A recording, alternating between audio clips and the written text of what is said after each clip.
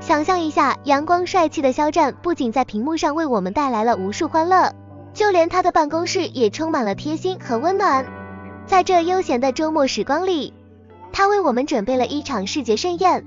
纯白清爽的徐湛身穿简洁的休闲装，每一个细节都透出青春与活力。这样的他就像夏日里的一股清流，瞬间让人心情愉悦起来。这条推文迅速在社交媒体上引发了热议，网友们纷纷留言表达自己的喜悦之情。有网友说：“哇，策划工作室真是太棒了，每次都有新惊喜。”有些网友调侃道：“看来周末的加餐不仅是美食。”还有肖战的帅气照片呢，更有网友直接晒出了自己的屏保，说我已经把肖战的照片设为屏保了，每次解锁手机都能看到他的笑容，真是太幸福了。看着这些评论，我不禁笑出声来。此次由肖战工作室发起的推广，不仅让粉丝们感受到意外的关怀，也让大家度过了一个愉快的周末时光。当然，肖战工作室这次的推送不仅仅是为了给粉丝们带来福利。他们还特别在推文中写道：“给周末加个 buff，简直是双倍快乐。”这不禁让人好奇，这个 buff 究竟是什么呢？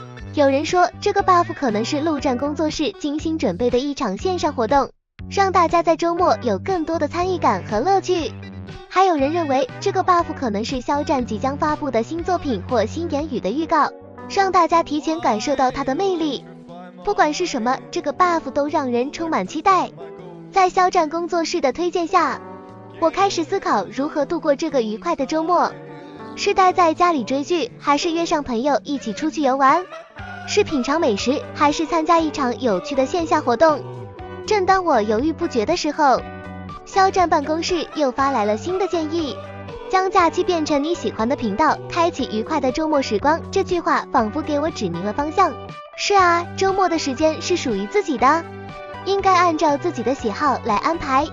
于是我决定约上几个朋友一起去郊外野餐，享受大自然的清新与宁静。当然，肖战工作室的推广并未止步于此，他们在推文中还设计了互动环节，邀请粉丝们分享自己的周末计划。这一举措不仅增强了粉丝们的参与感，也让他们感受到了肖战工作室的用心和关怀。